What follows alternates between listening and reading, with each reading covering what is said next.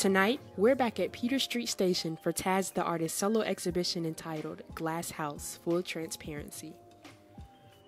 Her artistry is a visual representation of herself and the things that have shaped her into the person she is today.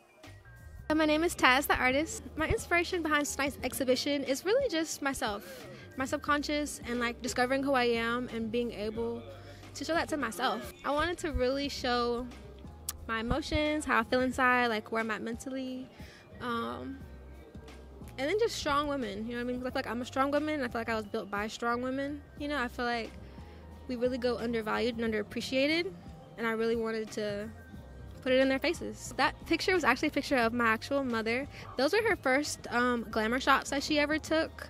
Um, and yeah, I just really wanted to capture like that moment because like my mom, she went through a lot growing up as well with her mom. Strong women go through shit, you know what I mean? We end up having to go through kind of a lot of shit. And that's what makes us strong women, you know what I mean? Like, and just being able to appreciate those stories, you know, and to really not let it go over your head.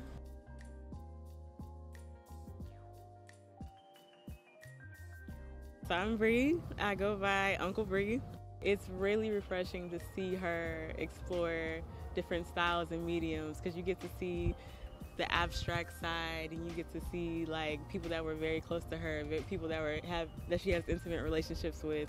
So it was just dope to kind of get a look inside like her mind a little bit to see what colors she chose and what movements she used with her brushstrokes and stuff like that. So it's been it's been dope. It's been really nice.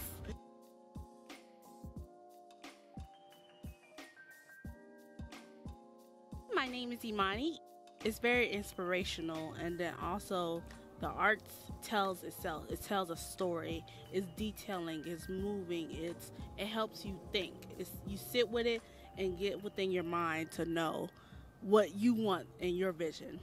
For me i find it as a deeper level especially the painting with her mom. It shows so much details in her lining and then the cheekbones it'll show how much she really puts all her creativity in and it's so beautiful. And it means peace love but then you also get that edge that mystery that makes you help you think about things to me